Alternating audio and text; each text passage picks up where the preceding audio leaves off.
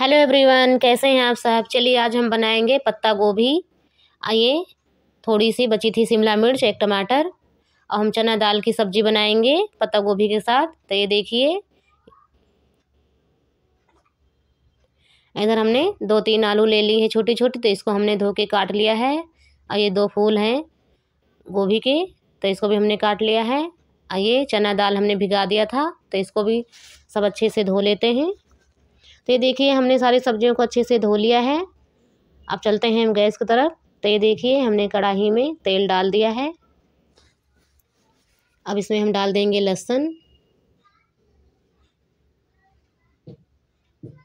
तो ये देखिए, लहसुन गोल्डन हो गया है। अब इसमें हम डाल देंगे प्याज।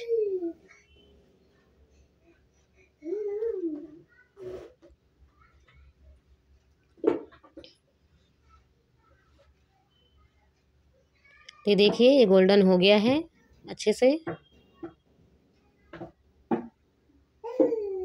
अब इसमें हम डाल देंगे दो तीन हरी मिर्ची, मैंने मोटी मोटी काट ली थी। ये टमाटर। अब साथ में इसको हम डाल देंगे।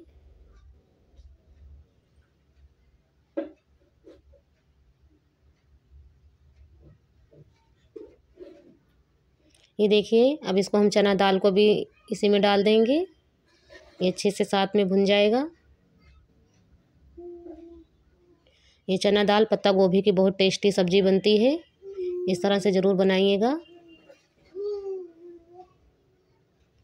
आइए हम लाल मिर्ची पाउडर, धनिया पाउडर, हल्दी पाउडर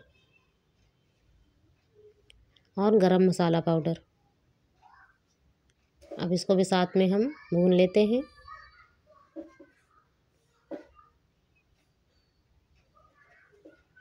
तो देखिए, हमारा मसाला अच्छे से भुन गया है। अब इसमें हम सब्जियों को डाल देते हैं।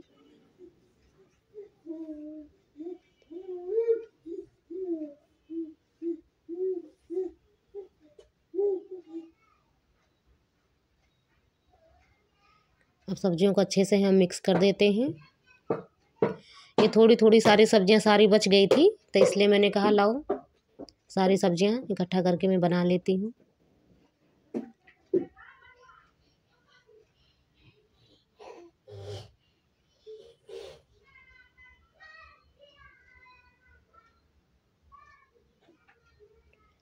तो ये सारी सब्ज़ियाँ अच्छे से मसालों में भुन गई है। अब इसको हम करीब दस मिनट के लिए ढक देंगे। अच्छे से सब्ज़ियाँ सॉफ्ट हो जाएँगी। तब इसको हम देख लेते हैं। तो ये देखिए, हमारी सब्ज़ी अच्छे से सॉफ्ट हो गई है। इसमें फ्रेंड्स पानी नहीं डालना है, ये सूखी सब्ज़ी बनती है। तो इसमें धीरे धीरे पानी निकलेगा, ऐसी पानी से सब्ज़ियाँ पक जाएँगी। अब इसमें हम डाल देंगे नमक।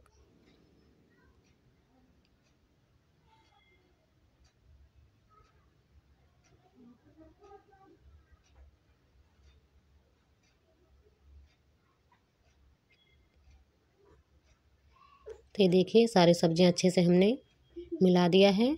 अब इसको हम ढक देंगे और इसको अच्छे से हम पकने देंगे। अब इसको हम देख लेते हैं फिर से।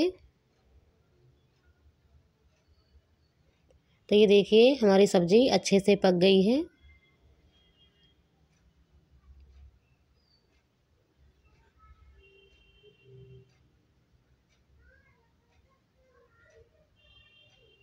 ये देखिए, सारी सब्ज़ियाँ अच्छे से हमने चला दिया है। अब इसमें हम डाल देंगे हरी धनिया पत्ती।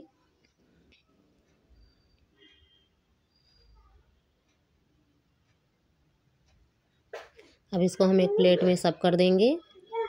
और गैस को बंद कर देंगे। तो ये देखिए, हमने प्लेट में सब कर दिया है। तो कैसी लगी हमारी पत्ता गोभी, चना दाल की सब्ज़ी? अगर अच्छी लगे तो लाइक करें, शेयर करें, ज़्यादा से ज़्यादा सब्सक्राइब करें।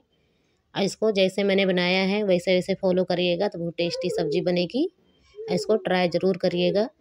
और कमेंट में ज़रूर बताना कि कैसी लगी मेरी रेसिपी। मिलेंगे नई रेसिपी के साथ। तब तक के लिए बाय बाय